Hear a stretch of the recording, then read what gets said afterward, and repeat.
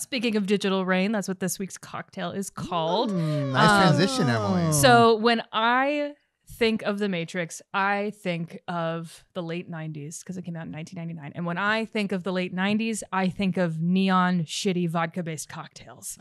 Um, so I wanted to do something that was uh, referential to the 90s, but maybe a little bit more elevated. So this has your classic neon green apple pucker for that lovely flavor, but then it's balanced out by this uh, Mm. liqueur called Chareau.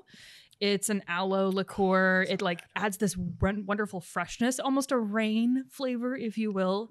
Um, but yeah, I was really happy. also, this is kind of a a reverse engineering of a cocktail I had in Vegas that I have not stopped thinking about since. Uh, Vegas. yeah. Was that uh, the Meow Wolf Omega Mart? It's called the. Apple Juice there. Um, This didn't like quite a- nail it, but I still really like the way that this turned out. tastes like a sour otter pop, maybe. Yeah, kind of You know I Jolly mean? Rancher vibes. Yeah, totally. It tastes like candy. It's like if really you had. Jolly Ranchers and then you chewed a little bit of gum right after. 'cause It's got, Mm. Yeah, like a winter fresh. Yeah. yeah.